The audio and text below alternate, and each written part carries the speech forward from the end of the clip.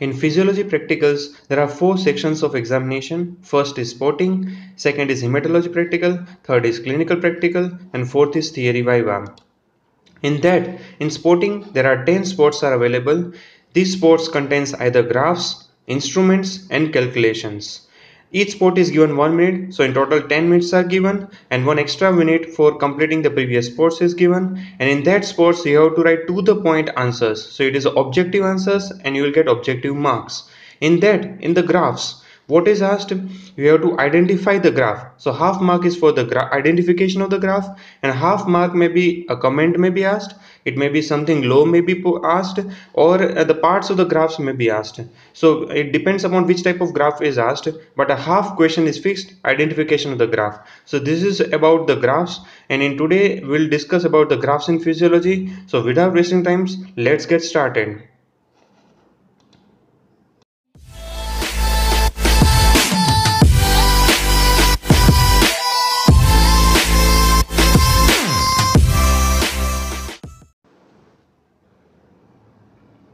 Now before we start the practical, I want to make one thing clear that today in these graphs I will discuss only the exam related stuff of the graphs. If you want to learn in detail, please attend the respective practicals. So with that thing kept in mind, let's start with the practical. Hello students, today we'll discuss about the graphs in physiology, in particular amphibian physiology graphs. I am Dr. Gitesh Dubal. Let's start the practical.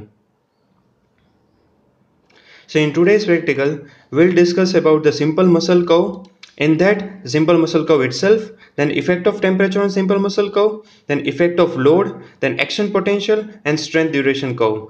Then second section will be simple muscle curve properties part 1. In that we'll discuss about the effect of two successive stimuli, genesis of tetanus, velocity of nerve impulse. Third section, simple muscle curve properties part 2. In that phenomenon of fatigue and ergography and lastly we'll discuss about the Frogs heart graphs in that we'll discuss about the normal cardiogram and effect of temperature on it effect of Stannius ligature, properties of cardiac muscle, effect of vagus and crescent stimulation, and lastly effect of drugs on frog's heart. So let's start with the first section that is simple muscle curve. So simple muscle curve will discuss about the simple muscle curve, effect of temperature, effect of load, action potential and strength duration curve. First simple muscle curve itself. So what is simple muscle curve? It is a mechanical recording of the muscular contraction, the skeletal muscular contraction when we stimulate the skeletal muscle of the frog with electrical impulse. So this kind of graph is obtained when we electrically stimulate the skeletal muscle and this mechanical recording is obtained. This is known as simple muscle curve. Now this simple muscle curve has four sections or four phases. The first phase is known as latent period. Second phase is known as contraction period. The third phase from C to D is known as relaxation period and from D onwards it is known as physiological curves. So first A to B period is known as latent period. Why? Because at this point we have stimulated the muscle that is known as point of stimulus but still the muscle has not responded. That is why it is known as latent period. Latent means hidden. So this is period is known as latent period because muscle is not responding in spite of stimulation.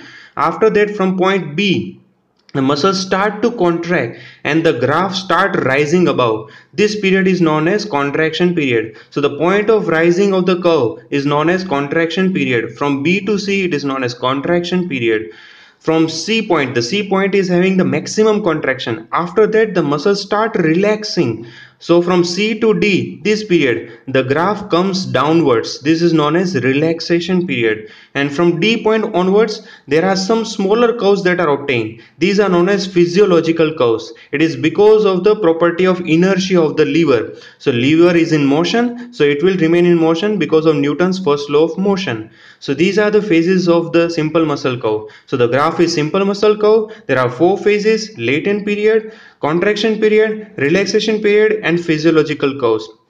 In that the and the relaxation period is slightly longer than the contraction period. Now next graph. Next graph is effect of temperature on simple muscle curve.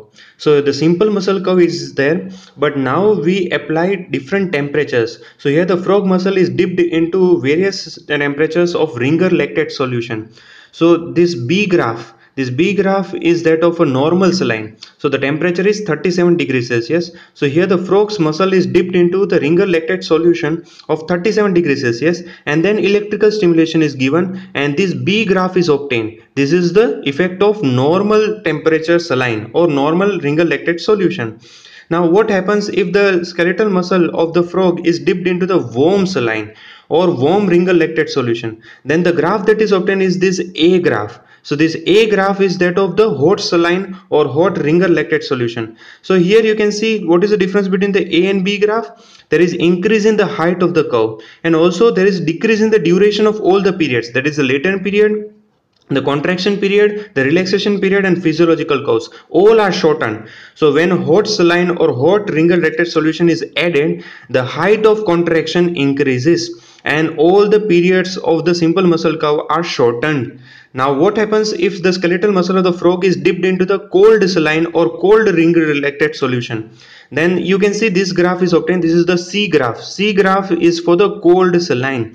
So what happens? The height of contraction decreases and all the periods are lengthened. So when cold saline or cold lactate solution is added, the height of contraction decreases and all the periods are lengthened. So this is the effect of temperature on simple muscle curve. So the question that is asked is identify the graph. So identification is from the three levels of the graphs and the graph name is effect of temperature on simple muscle curve now you have to write complete name because there is another effect of temperature graph. So this is the different one. So you have to write effect of temperature on simple muscle curve.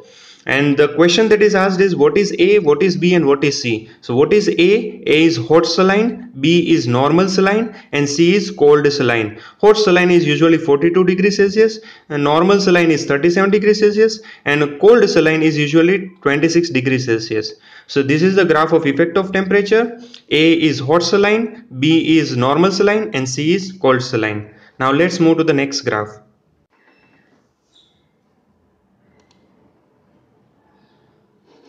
Okay, effect of load on simple muscle curve. So here what we do, we apply load to the skeletal muscle and then we give electrical stimulation and this kind of simple muscle curves are obtained. So basically we apply four types of load, 10 gram, 20 gram, 30 gram and 40 gram of loads are applied. There are two types of graph, one is preload, other is afterload.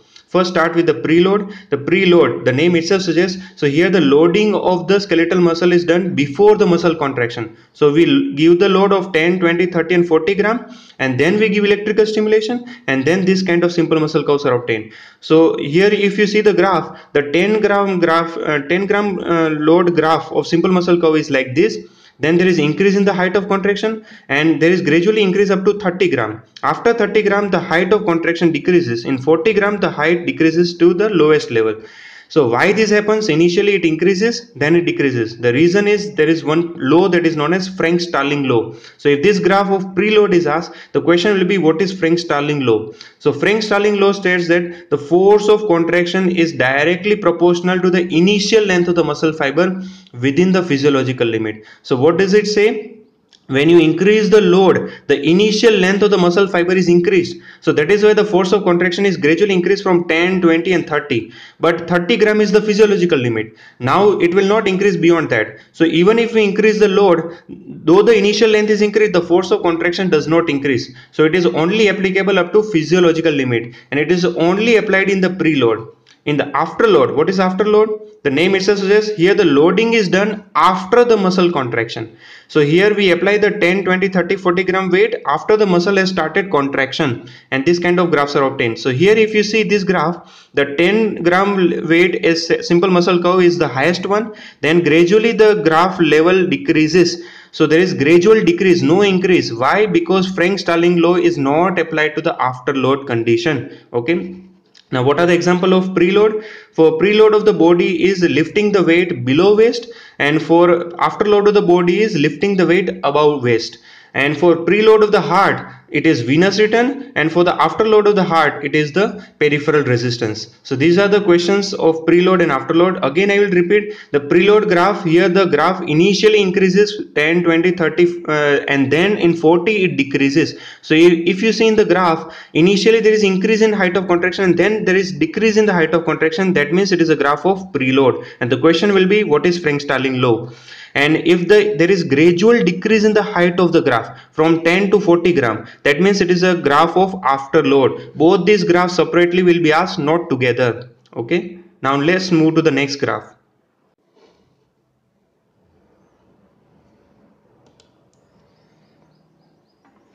Okay, now next graph is action potential and strength duration curve.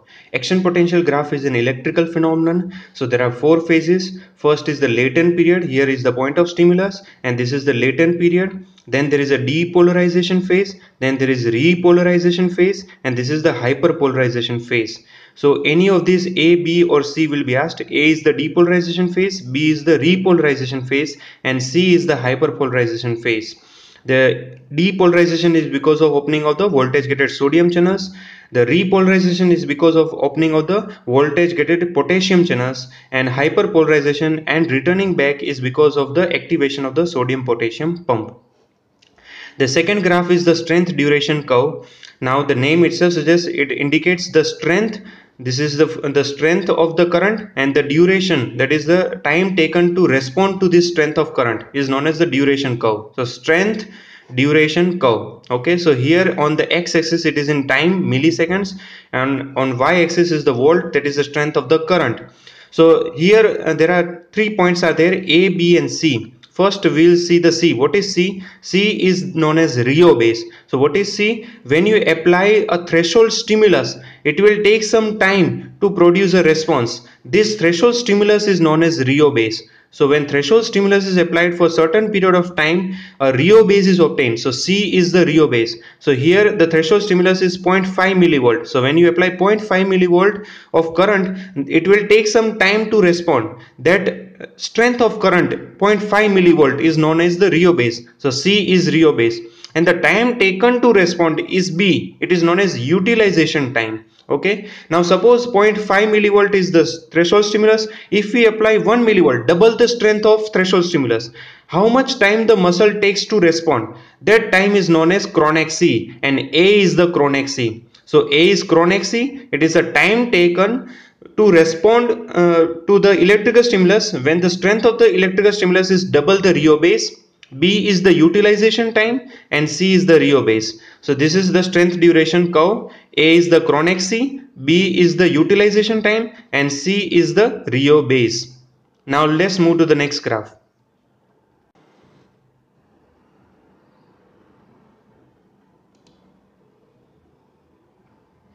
So now the second section is simple muscle nerve properties part 1. In that we'll discuss about the effect of two successive stimuli, genesis of tetanus and velocity of nerve impulse. First let's discuss about effect of two successive stimuli.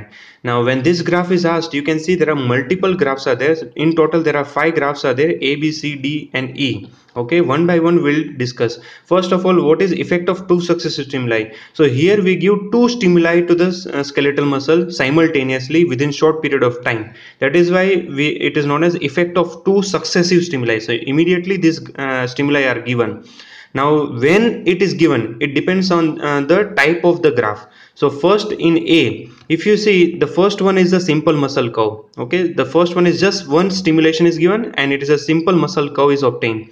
Now in the second graph if you see when the stimulus is applied uh, there is a latent period now this latent period can be divided into two part first half of latent period and second half of latent period when the stimulus is applied to the first half of latent period now the graph that is obtained is having the same height as the normal simple muscle curve that is obtained by single stimulus so the height is not changing. What does it indicate? It indicates that when the second stimulus is applied, the muscle is not responding to the second stimulus. Why? Because the first half of latent period is absolutely refractory to the second stimulus.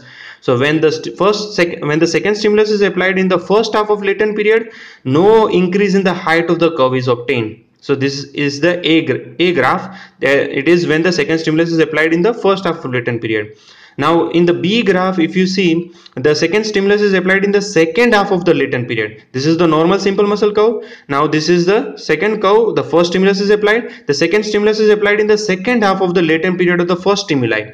So the height of the curve is increased compared to the normal one. This has increased height. Why? Because the first and second stimuli have merged together. They have summated that is why it is known as summation of stimuli so when the second stimulus is applied in the second half of latent period the height of the curve increases it is because of the summation of stimuli so b is when the second stimulus is applied in the second half of latent period and the increase in the height is because of summation of stimuli now in the C, if you see, this is the normal simple muscle curve again.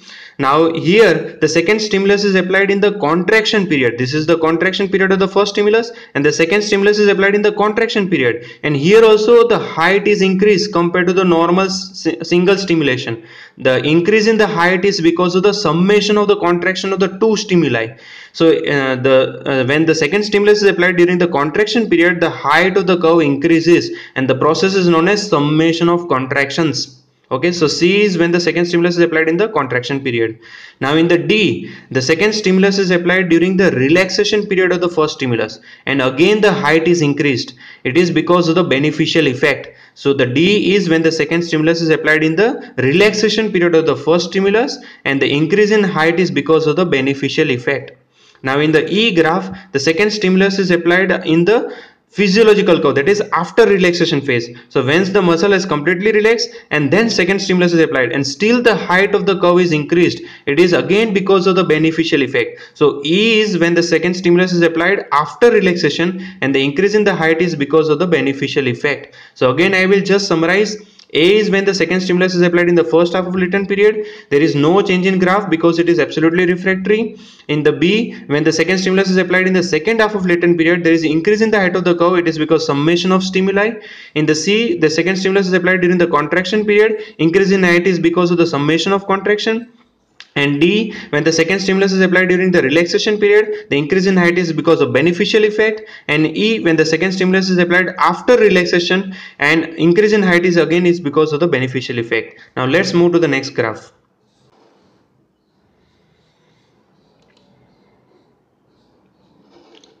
Okay, now genesis of tetanus. So first of all, what is tetanus? Tetanus is when we we give high frequency of stimulation to skeletal muscle. The skeletal muscle does not get any time to relax. So it goes into continuous spasm. That state is known as tetanus. And genesis means production. So production of tetanus. So when we produce tetanus, when we give high frequency stimulation and the muscle does not get time to relax, it goes into spasm and that is known as tetanus. So there are four parts of this graph a, B, C and D and each one can be asked in examination. First part is A. This is known as staircase phenomenon or treppe. Here we give low frequency stimulation of 5 per second. So what happens? You can see the height of contraction is every time increasing. So muscle is contracting, completely relaxed and then second stimulation is applied, the height increases further. So there is gradual increase in the height of contraction. That is why it is known as staircase phenomenon. The reason is beneficial effect which we have discussed in previous graph. Okay. The second one is the B graph. It is known as clonus. Here we give higher frequency of 10 to 15 per second okay? So it is clonus because if you see here the contraction is done then there is no complete relaxation and second stimulus arrives. So there is incomplete relaxation in clonus okay? Again the height is increased. It is because of the beneficial effect. Here the second stimulus is falling in the relaxation of the first stimulus okay? So this is clonus. B is clonus. C is incomplete tetanus. Further high frequency of 30 per second is applied here what happens initially there is some contraction and some relaxation then gradually the relaxation does not occur. So here the tetanus is produced but it is incomplete. Why? Because initially there is some relaxation is there. In tetanus there should not be any relaxation. So here because there is initial some relaxation is there this period is known as incomplete tetanus and it is produced when we give 30 per second of stimulation. So C is incomplete tetanus and D is complete tetanus. So here we give high frequency stimulation of 40 per second second. So what happens? The high frequency stimulation does not allow the muscle to relax and it goes into continuous spasm until the stimulus is given. So this is known as complete tetanus. So d is complete tetanus. So again i will repeat. A is the treppe or staircase phenomenon. B is the clonus and C is the incomplete tetanus and D is the complete tetanus. So this is the graph of genesis of tetanus. Now let's move to the next graph.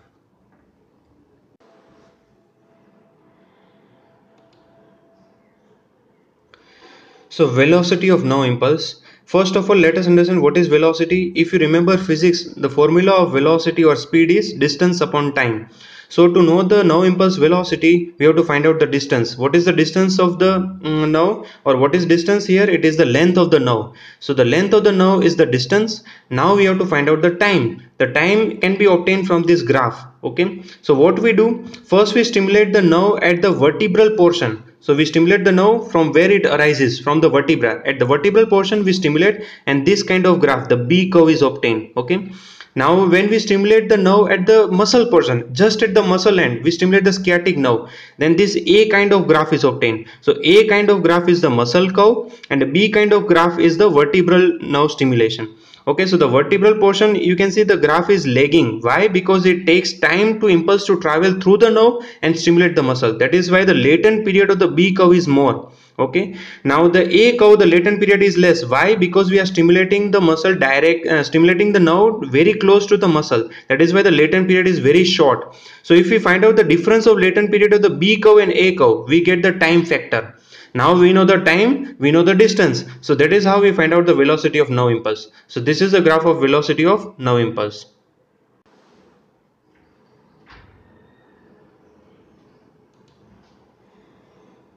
So now we move into the third section that is simple muscle curve properties part 2 and that will discuss about the phenomenon of fatigue and ergography. First phenomenon of fatigue now what is fatigue? You might have understand that when you do too much of exercise your muscle gets uh, tired and you are not able to do the work. That is a phenomenon of fatigue. So here also what we do we continuously stimulate the muscle and gradually the muscle undergoes the process of fatigue. That is the phenomenon of fatigue.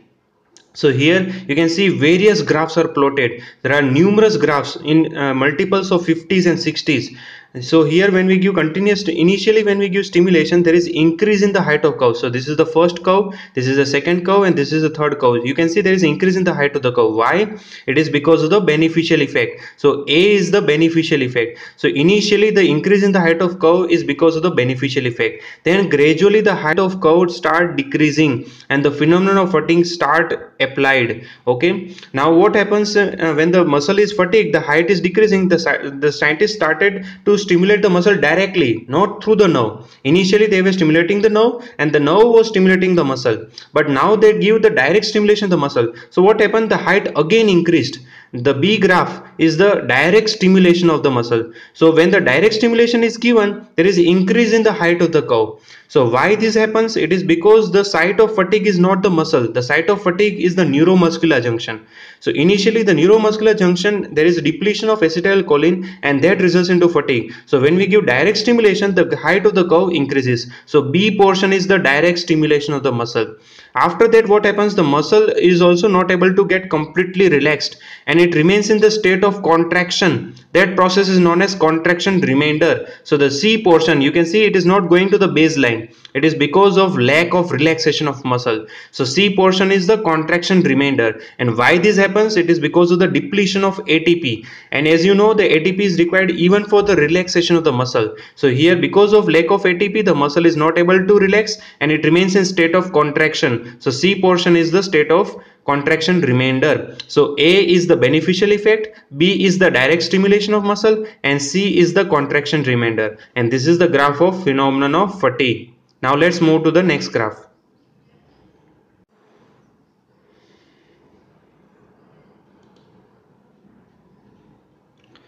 Okay, now ergography. So what is ergography? It is a recording of the work done by a human being. So here also we see the phenomenon of fatigue, but we see the phenomenon of fatigue in a human being and the instrument that is used is known as ergograph. So in ergograph, we ask the person to lift the weight with the fingers and then this kind of graphs are obtained. So here the person is lifting the weight every time. So there is gradually there is increase in the height of the curve initially. This is the rising phase. It is because of the beneficial effect. Then it plateaus. Maximum contractions are produced. It cannot increase the height beyond this. So this is the plateau phase.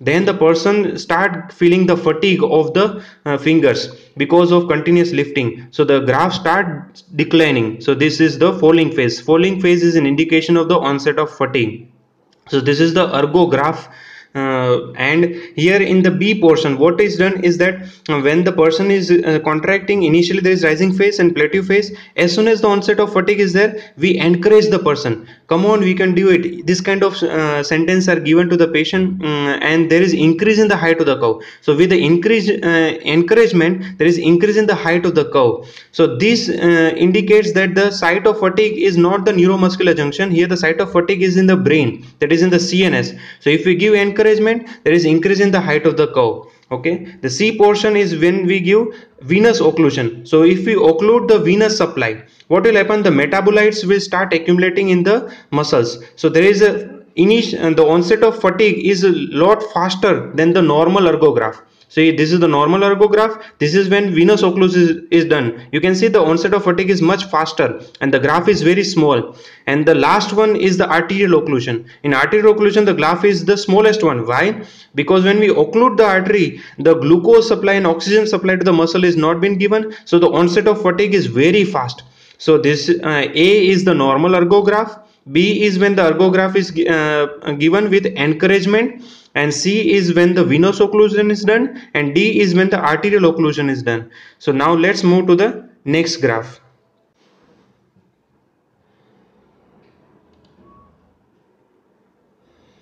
So this is the last section of the amphibian graphs that is a Frog's heart graphs. In that we'll discuss about the normal cardiogram and effect of temperature, effect of Stannius ligature, properties of cardiac muscle, effect of vagus and crescent stimulation and last effect of drugs on the Frog's heart.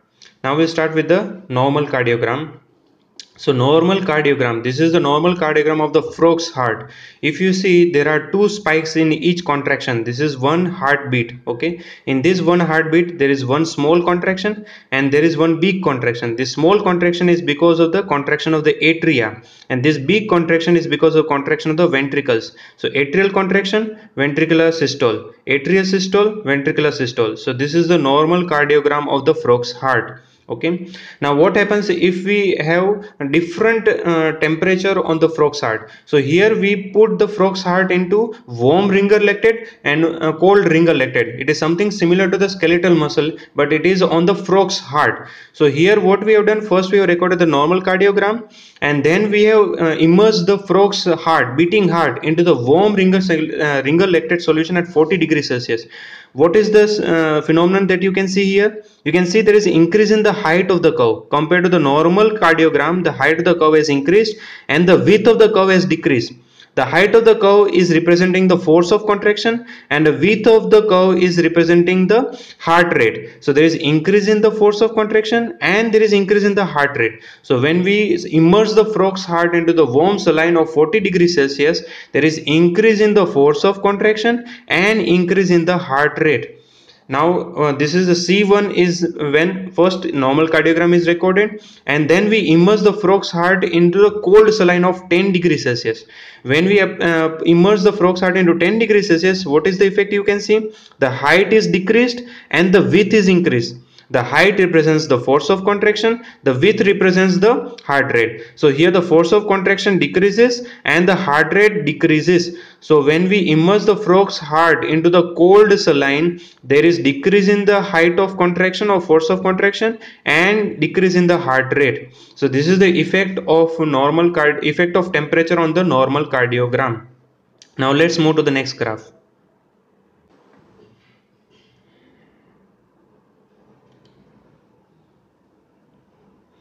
Okay, effect of Stannius ligature on the normal cardiogram. Now Stannius was a scientist and he wanted to find out what, which is the pacemaker in frog's heart. As you know, there is a pacemaker in every heart. In human heart, the, uh, the pacemaker is SA node. But in Froeg heart, he wanted to find out which is the pacemaker. For that, he experimented. First, he recorded the normal cardiogram of the frog's heart. Okay. Then he applied one ligature. He applied the first ligature at level between the sinus venosus and the atria okay there is one portion in the frog heart known as sinus venosus so he applied a ligature between the sinus venosus and atria. Then the graph that was obtained was something like this. There were initial small contractions and then there was atrioventricular contractions. Small contractions and then atrioventricular contractions. You can see the uh, atrioventricular contractions have become far less while the smaller contractions are more. These smaller contractions are known as sinus rhythm because these are the contraction of sinus venosus okay so sinus venosus are showing these fluctuations. So this is sinus rhythm then atrioventricular rhythm then sinus rhythm and atrioventricular rhythm. So on first ligature there is sinus rhythm and atrioventricular rhythm is obtained. Then he applies the second ligature. Now he applies second ligature between the atria and ventricle. When he applied the second ligature between atria and ventricle this kind of graph was obtained. You can see there are sinus rhythm is there then the atria contracts sinus rhythm atria contracts sinus rhythm and then ventricle contracts. So here the sinus are contracting by themselves atria are contracting by themselves and ventricles are also contracting by themselves. The rate of ventricular contraction is much slower than the atrial contraction. So this is known as idioventricular rhythm. So when the second ligature is applied the sinus beats by its, itself the atria beats at the much slower rate than the sinus rhythm and ventricle beats at much slower than the atrial rhythm also so this is the effect of Stannius ligature on the normal cardiogram. Again, uh, the graph that is obtained is the effect of Stannius ligature on the normal cardiogram. The question that will be asked is the uh, what is this? This is the first ligature. This is when first ligature is applied. A is the atrioventricular rhythm and this is the level where second ligature is applied and B is the idioventricular rhythm. So A is atrioventricular rhythm and B is the idioventricular rhythm. Now let's move to the next graph.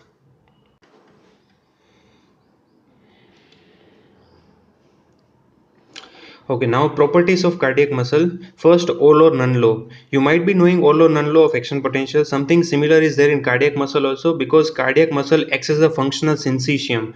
So what happens when we give sub-threshold stimuli? It will not respond at all. Ventricles will not respond at all. So it is a none phase. But when we give threshold stimuli, the ventricle will uh, contract with the maximum force. Okay, when we give uh, uh, submaximal stimuli still it will give maximum ventricular contraction and supramaximal stimulus is given still it will give the uh, same force of contraction. So either it will not respond at all or the ventricle will respond with full contraction. So that is why it is known as all or none phenomenon. So either it will not respond when it is below threshold or it will respond with a full contraction when it is threshold or above so that is why it is known as all or none law. All or none law only applies to the full ventricle or full atria, not to both of them. And because the full ventricle, because it acts as a functional syncytium.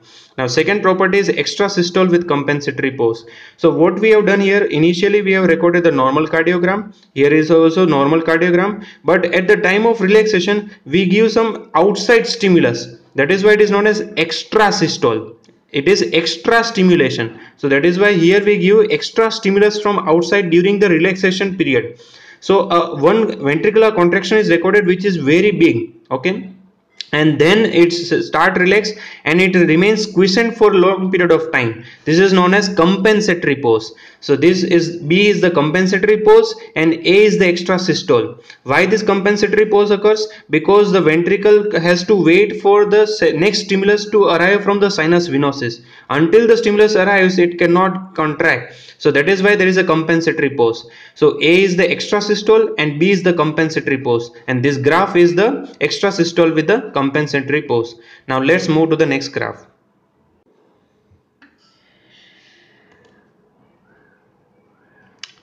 okay now effect of vagus and crescent stimulation First of all, you already know what is vagus. Vagus are the parasympathetic fibers. But what is crescent? Crescent is a white crescentric line between the sinus venosus and atria and the frog's heart. And it contains the postganglionic parasympathetic fibers. Vagus contains the preganglionic fibers while crescent contains the postganglionic parasympathetic fibers. Remember this point okay. Now uh, this is the first portion. This is the graph of effect of vagus and crescent stimulation. This is the first portion of the normal cardiogram. This is just the recording of the uh, beating of the frog's heart. Now in this portion this portion if you see there is a strong vagal stimulation is given. When we give strong vagal stimulation to the frog's heart what will happen? Because vagus is inhibitory to the heart the heart stop beating. So there is a straight line. So when the straight line is there then uh, overcoming that straight line the sinus venosus start beating again and the atria and ventricle also start beating with the staircase phenomenon. This staircase phenomenon is because of the beneficial effect. It is not because of increase in strength of stimulus. It is because of the beneficial effect. So when vagus stimulation is given initially the heart stops then it recovers and start beating again. Now here also here the crescent stimulation is given. When we give crescent stimulation because crescent is post ganglionic parasympathetic fibers so again the heart will stop again the heart will stop and then it will recover and it start beating again with the staircase phenomenon. So the a is the crescent stimulation. Now the b is when we give continuous vagal stimulation. So here when we give strong vagal stimulation we does not remove the stimulus. We continuously give the stimulus and want to see whether the heart still beats. Now here the initially the heart does not beat at all but after some time the ventricles start beating again okay so ventricle escapes from the vagal stimulation. That is why it is known as vagal escape. So c is known as vagal escape why this vagal escape happens? The one reason is because of depletion of acetylcholine. Second is because the ventricles uh, start beating by themselves. They will wait from uh, for the impulse to arrive from sinus venosus and atria. But because of vagal stimulation the impulse is not arriving so ventricle will start beating by themselves because they have the property of automaticity. So idioventricular rhythm is the second reason. And third reason is because of sympathetic overdrive. Vagus fibers contain both sympathetic and parasympathetic fiber in frog. So what happens? Initially the parasympathetic fibers are dominant but later on the sympathetic fibers becomes dominant and will cause ventricular contraction so these are the three reasons of the vagal escape so again A is the crescent stimulation, B is continuous vagal stimulation and C is the vagal escape. And the thing that is not marked here is the vagal stimulation. So this is the graph of effect of vagus and crescent stimulation on the frog's heart. Now let's move to the next graph.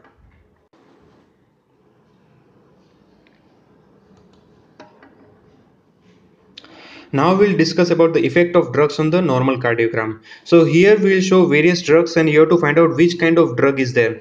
So this is the first graph. This is the drug of adrenaline or sympathomimetic drug. Now why it is called sympathomimetic? Because the drug adrenaline has effects similar to sympathetic stimulation.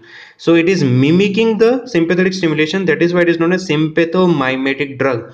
Now sympathetic stimulation effect on the frog heart is increasing the force of contraction and increasing the heart rate. Okay. Now remember this. Now we'll discuss the graph. So first initially this is the normal cardiogram. Now this is the vagal stimulation. Heart stops and it start beating again. It recovers. Okay. Then we give crescent stimulation and the heart stops. It recovers and it start beating again with staircase phenomenon. Now we apply the drug on the frog's heart. The drug is adrenaline. It is sympathomimetic so it stimulates the heart so what happens the height of the curve increases you can see from this curve to this curve the height is increasing the height increases and the width decreases so there is increase in the force of contraction and decrease uh, sorry increase in the heart rate. Decrease in the width means increase in the heart rate. So increase in force of contraction and increase in the heart rate. So this is the effect of adrenaline. Now if we give crescent uh, sorry vagus stimulation still the heart stops. The vagus effect is not gone. Though adrenaline is there the vagus stimulation will stop the heart. The heart will recover but it will beat with a increase in force of contraction and heart rate. Then if we give crescent stimulation still the effect is there so effect of vagus and crescent is still there in spite of giving adrenaline. So the drug adrenaline can be identified by identifying the height. Increase in height and decrease in the width. That is increase in the force of contraction and increase in the heart rate. And the vagus and crescent effect is there. Now next uh, graph of effect of uh, drugs is the pilocarpine. Pilocarpine is parasympathomimetic. That means it is mimicking the parasympathetic stimulation. What is the effect of parasympathetic stimulation of frog's heart? Decrease in the force of contraction and decrease in the heart rate. So now we'll see the graph. This is the normal cardiogram. This is the vagus stimulation. Heart stops. Crescent stimulation. Heart again stops. Recovers. Okay. Now we apply the drug pilocarpine. It is parasympathomimetic. That means it should inhibit the heart. So there is decrease in the height of the contraction. Decrease in the height and increase in the width. That means the force of contraction is less and there is decrease in the heart rate. So decrease force of contraction, decrease in the heart rate. Vagus stimulation is still present crescent stimulation is still present. So when the height decreases and width increases and vagus and crescent effect is still present it is pilocarpine or parasympathomimetic drug. Now let's move to the next drug. Here again normal cardiogram vagus stimulation crescent stimulation. Now we apply the drug. The drug is atropine parasympatholytic what does lytic means? It lyses it breaks down the parasympathetic effect. The parasympathetic effect is inhibitory. It inhibits the inhibitory effect. That means it is stimulatory. So when atropine drug is applied to the frog's heart there is increase in the height of contraction and there is decrease in width. That means force of contraction is increased and heart rate is also increased. So there is stimulation of the heart. So here the stimulation of heart is seen now we have the vagus stimulation, you can see the heart does not stop. Why? Because it is inhibitory to the vagus effect. It is lytic to parasympathetic. So vagus effect is not seen. Similarly, the crescent stimulation is also not seen because crescent is postganglionic fibers. So here also the postganglionic parasympathetic fibers are not having effect because it is lytic. So no vagus, no crescent. So when atropine drug is there, there is stimulation of heart, but there is no effect of vagus stimulation, no effect of crescent stimulation. Now let's move to the last part of the effect of drugs. Here again the normal cardiogram, vagus stimulation, crescent stimulation, same thing. Here the drug is nicotine. Nicotine is the ganglion blocker. So this drug blocks the effect at the ganglion level now when nicotine is applied you can see that there is decrease in the height and increase in the width. So initially when the low dose of nicotine is given there is inhibition of the heart. So there is decrease in force of contraction and decrease in the heart rate. But when the for, uh, quantity of the nicotine increases gradually when the concentration of nicotine gradually increases there is stimulation of the heart. So there is increase in the height of contraction and decrease in width. So increase in force of contraction and increase in the heart rate is seen now if we give vagus stimulation, you can see there is no effect of vagus stimulation. Why this happen? The reason is very simple because when we stimulate vagus, we are stimulating the preganglionic fibers. So there is a ganglion in between and this is a ganglion blocker. So it will not allow the vagus stimulation to reach the heart. That is why there is no vagus stimulation. But when we give crescent stimulation, the heart stop beating. Why? The reason is the crescent is post ganglionic fibers. That means the stimulation is after ganglion. So ganglion blocker will not have any effect on the crescent stimulation. So heart stops beating and then it recovers. So whenever the drug has dual effect, at low dose it inhibits the heart, at high dose it stimulates the heart and there is no vagus stimulation but there is stimulation of crescent is present that means the drug is nicotine. So it is a ganglion blocker. So this is about the effect of drugs on the normal cardiogram. Thank you very much.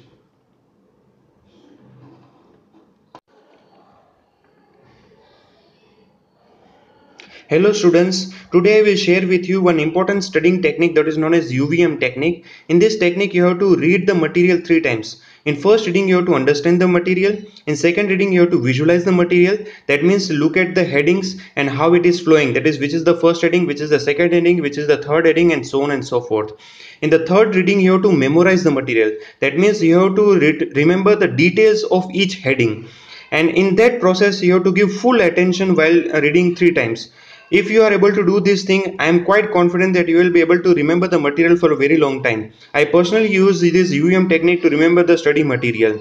And using this same principle if you watch this video three times in first you understand the material in second you visualize and third you memorize then if you uh, watch this video three times i'm quite confident that the material that i am explaining in this video you will be able to remember for quite a long time So lastly, it's the Metzel time. So what is the today's Metzel? I am produced by single skeletal muscle contraction. My nature is mechanical. I have four phases. My third phase is longer than the second phase. Tell me thy, who am I? Tell me the answer students in the comment section below. As a token of appreciation, I will give you a like. And also, if you like this video, please like, share and subscribe this video to all your friends. Thank you very much for listening to me. Have a nice day.